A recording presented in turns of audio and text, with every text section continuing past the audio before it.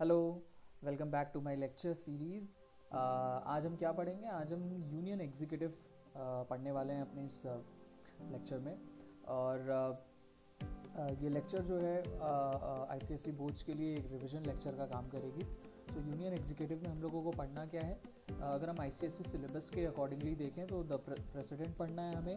फिर executive uh, में हमें प्राइम मिनिस्टर भी कवर करना है prime minister of India then council of ministers so we will have to cover council of ministers so president prime minister council of ministers और एक चीज़ हमें पढ़ना है वो है vice president of India so these are uh, the different topics of union executive which we need to study for our ICSE boards so इस particular uh, lecture में हम प्रेसिडेंट uh, पढ़ेंगे और आने वाले लेक्चर्स में हम बाकी सारे एग्जीक्यूटिव uh, के पार्ट को भी कवर करेंगे and this lecture is presented by me Rahul Das So let us uh, see what are the topics uh, which we will discuss under the heading the president.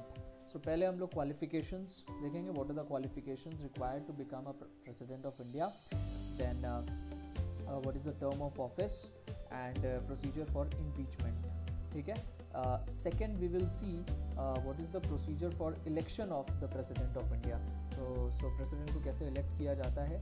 Then positions and powers of the president of India this is very important and lastly we will see the emergency powers so some of the emergency powers of the president of india uh, mm, so let's move on to our first slide which is uh, this one so article 52 of the constitution of india says that there should be a president of india so अगर हम लोग अपने constitution में देखें तो president of India के बारे में आर्टिकल 52 में मेंशन किया गया है ठीक है uh, ये it says that there should be a president of India what is the eligibility criteria eligibility is mention in article 58 of the Indian constitution eligibility क्या है? पहला be a citizen of India ये तो uh, सबसे basic है.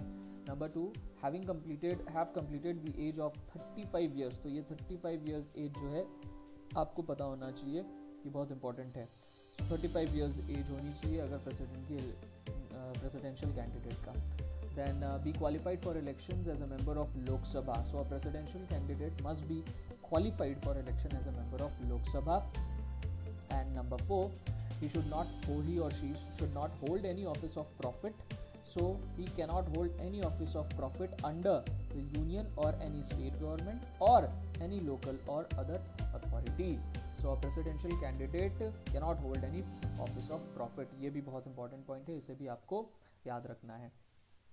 And coming to the term of office so what is the term of office the term of office is mention in article fifty six of the Indian constitution which says that president shall hold office for a term of five years ठीक है? सो जो normal term होता है president का, वो होता है five years from the date he takes up his post but he may resign from his office by writing is resignation to the vice president of India so अगर उसको resign करना है तो उसे अपना रेजिग्नेशन जो है वाइस प्रेसिडेंट ऑफ़ इंडिया को देना होगा।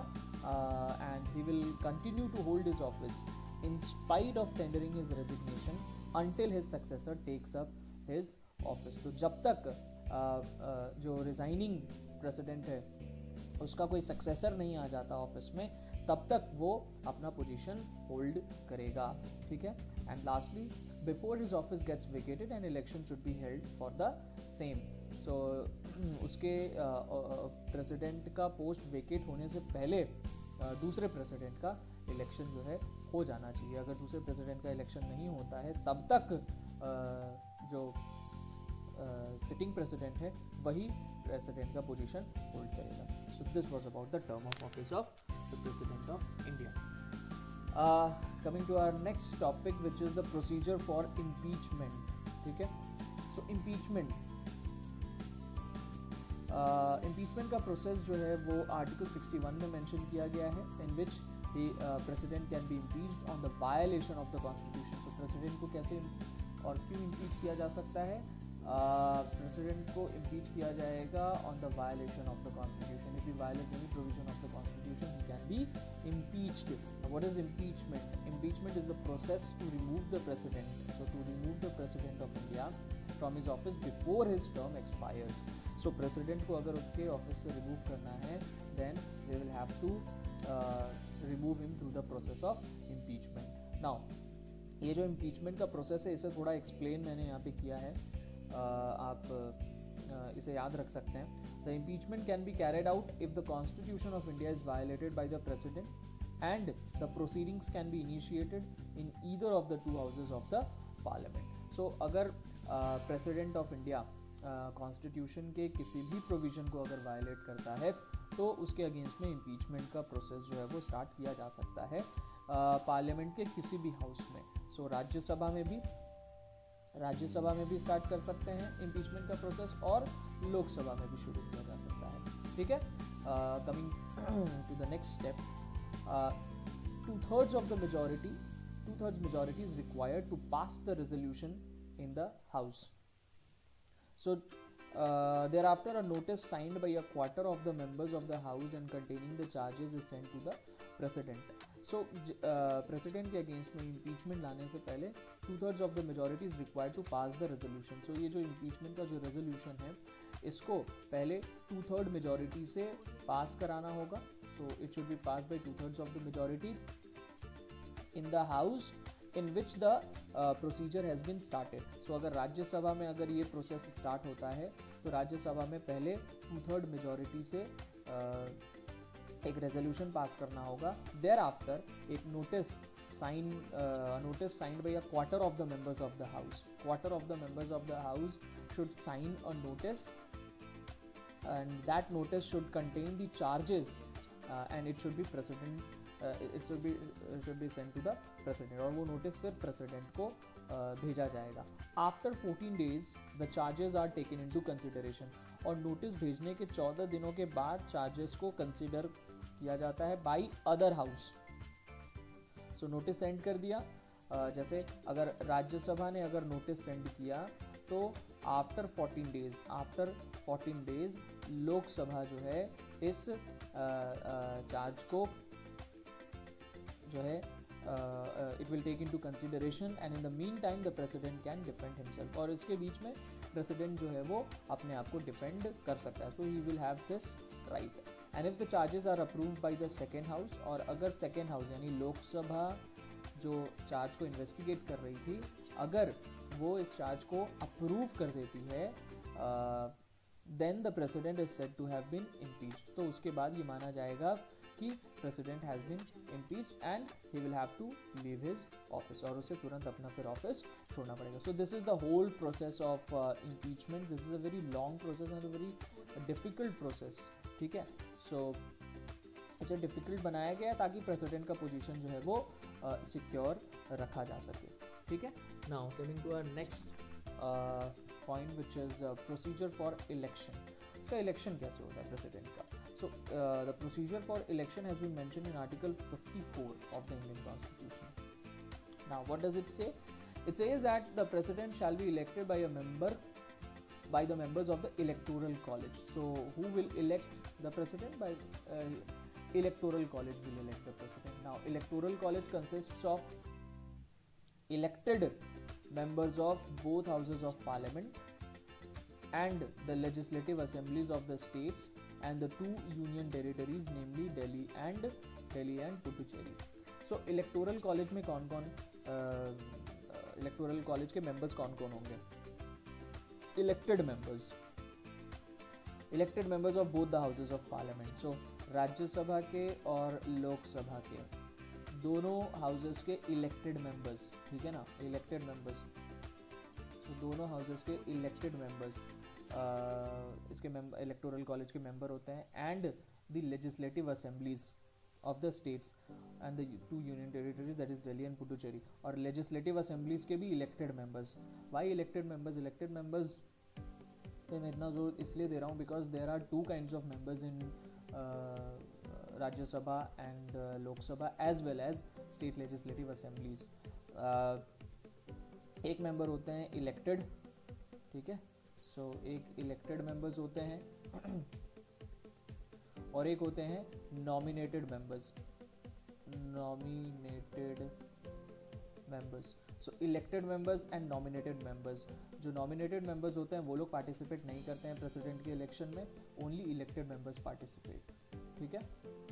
जैसे राज्यसभा में there are twelve nominated members and in Lok Sabha there are two nominated members they will not participate in the election of president ठीक है, वैसे ही स्टेट लेजिस्लेटिव असेंबली के केस में भी होता है। Only elected members will participate now the election of the president is held in according with the system of proportional representation by means of a single transferable vote so this is the system of election of the president he can be he और she can be re elected to the office of president ठीक है?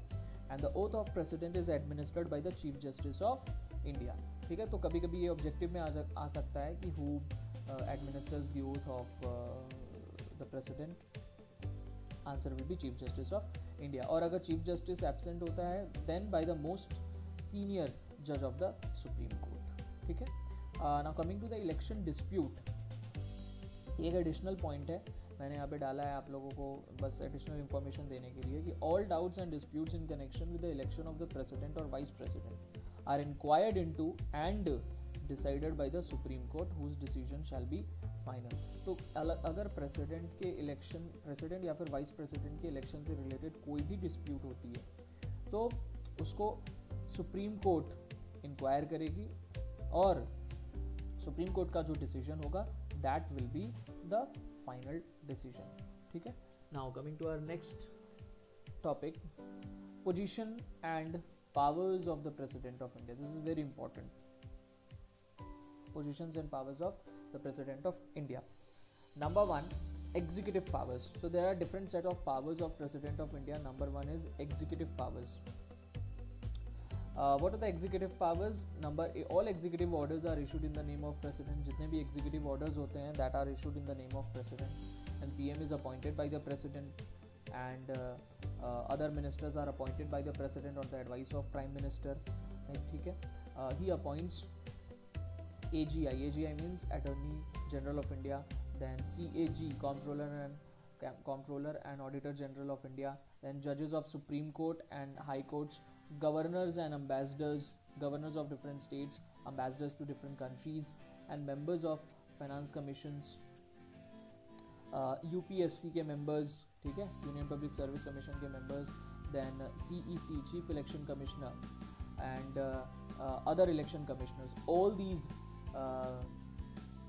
constitutional positions are appointed by the president of India ठीक है? Then union territories are administered directly by the president ये भी एक executive power है president का. So these are the executive powers of the president of India coming to military powers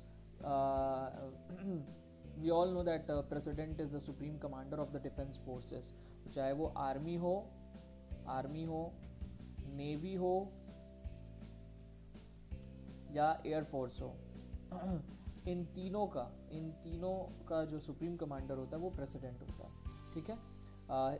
ही और she has the power to declare war and peace तो किसी भी country पे अगर वॉर डिक्लेयर करना है तो वो प्रेसिडेंट के अप्रूवल से ही होगा, या फिर वॉर हो रहा है पीस डिक्लेयर करना है तो वो भी प्रेसिडेंट के अप्रूवल से ही पॉसिबल है। Coming to the legislative powers power to summon and prorogue parliament and dissolve the Lok Sabha so Lok Sabha को समन करना समन मतलब लोकसभा का मीटिंग बुलाना डिज़ोल्व करना लोकसभा को ये एक लेजिस्लेटिव पावर होता है president of president of India का।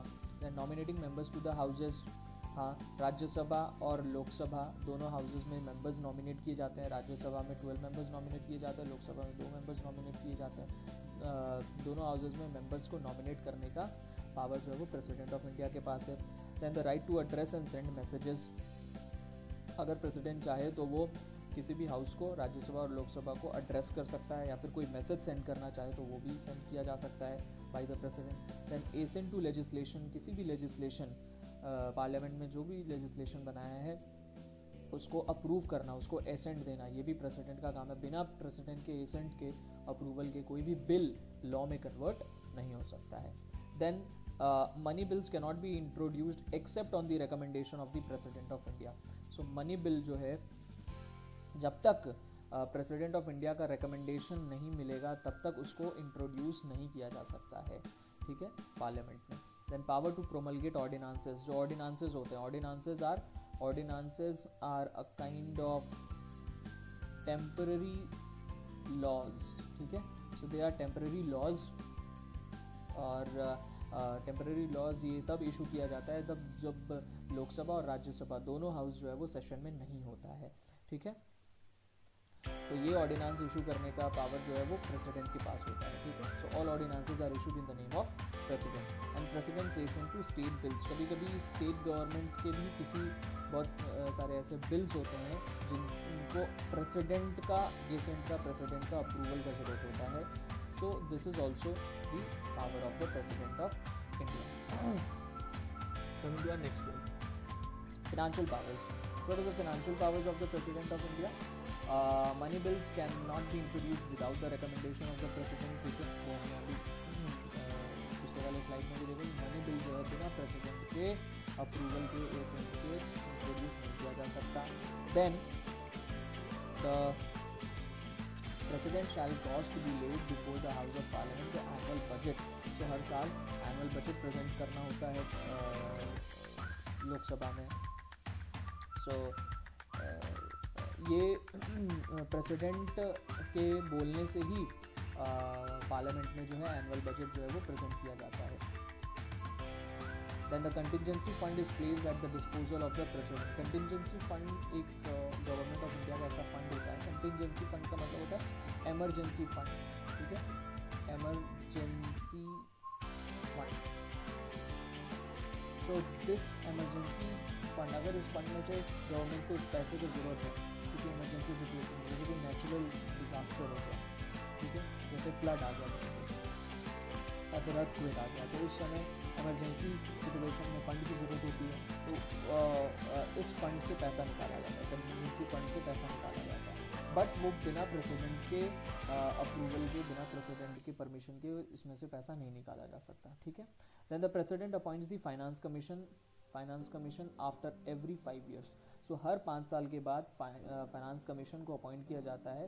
फाइनेंस कमीशन का ये फ़ंक्शन होता है कि वो प्रेसिडेंट को एडवाइस करती है फाइनेंशियल मैटर से related so these are the financial powers of president of India coming to judicial powers president has the power to grant pardon ठीक है? तो इसके पास पावर होता है कि वो पार्डन ग्रांट कर सकते हैं और to reduce the punishment that a person receives या फिर पर, किसी पर्सन को अगर कोई पनिशमेंट मिला है तो उस पनिशमेंट को रिड्यूस करने का भी पावर होता है प्रेसिडेंट के पास. And the president is not answerable to any court for the exercise of powers and duties of his office तो वो अपने पावर्स और ड्यूटीज़ uh, uh, के के लिए वो किसी भी कोर्ट को आंसरेबल नहीं होता है ठीक है? So he is not answerable to any court then no criminal proceeding shall be instituted against the president in any court during the term of office so कोई भी क्रिमिनल प्रोसीडिंग्स जो है प्रेसिडेंट के अगेंस्ट में नहीं लाया जा सकता है किसी भी कोर्ट में। जब तक प्रेसिडेंट अपने ऑफ़िस में है, तब तक उसके अगेंस्ट में कोई भी केस फ़ाइल नहीं किया जा सकता इन एनी कोर्ट ठीक है? So these were the powers of president of India coming to emergency powers ये भी बहुत इंपॉर्टेंट है। So there are three kind of emergency national emergency article 352 में इसका मैंशन किया गया है। देन एक है प्रेसिडेंट रूल इसको आर्टिकल 356 में मेंशन किया गया है। And other one is financial emergency ठीक है? इसको आर्टिकल 360 में मेंशन किया गया। So quickly we will understand what are these national what are these emergency so number one national emergency national emergency issue कब किया जाता है? When the security of India or any part thereof is threatened by war so अगर India का कोई भी part India का कोई भी पार्ट अगर it is threatened by war और एक्सटर्नल अग्रेशन और armed rebellion then in this situation national emergency can be proclaimed in the country uh, but it must be approved by both houses of the parliament within one month so national emergency proclaim uh, करने के one month के अंदर में it should be approve by both the houses of the parliament तभी ये national emergency stay कर सकती है। It cannot remain in operation for more than six months at a time so एक बार में छः महीने के लिए नेशनल इमरजेंसी जो है वो ऑपरेशन में रहेगी। और अगर उसे और एक्सटेंड करना है तो सिक्स मंथ्स के बाद फिर से उसको एक्सटेंड करना पड़ेगा। Another for another six months so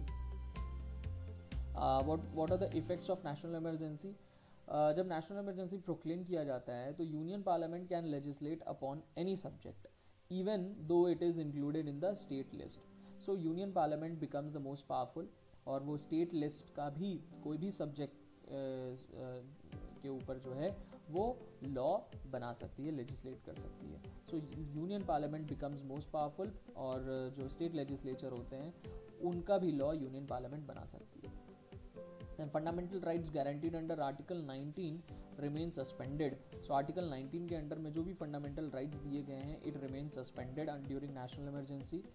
Fundamental article 19 में कौन से फंडामेंटल राइट है? Freedom of speech and assembly तो ये जो फंडामेंटल राइट right है, ये सस्पेंड हो जाता है during the proclamation of national emergency then life of Lok Sabha में be extended by parliament for a period not exceeding one year at a time so parliament का life normal life तो five years का होता है but उसको extend किया जा सकता है during the proclamation of national emergency ठीक है?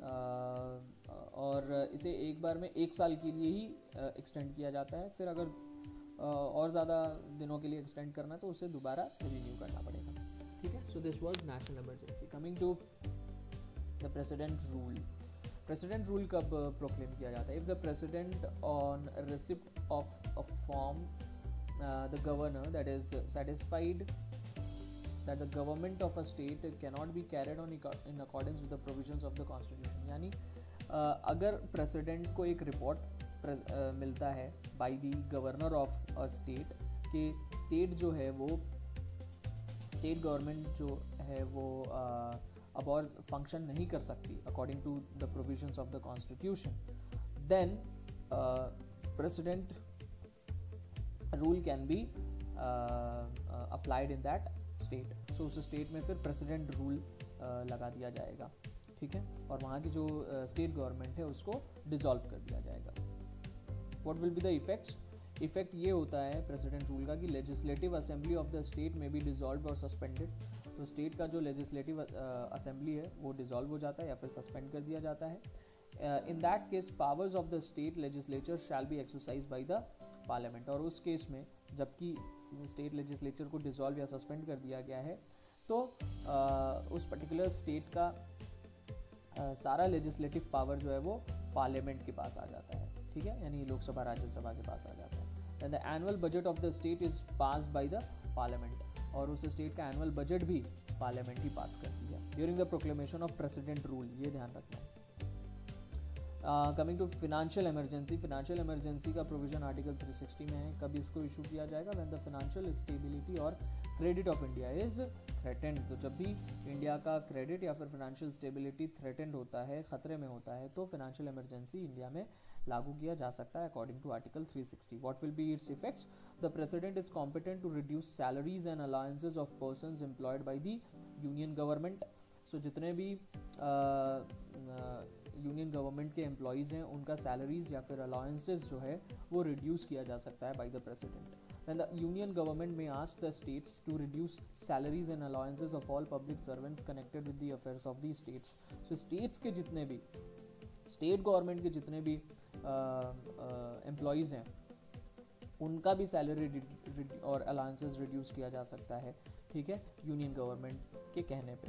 Then all money bills passes by the state legislatures may be reserved for the consideration of the president.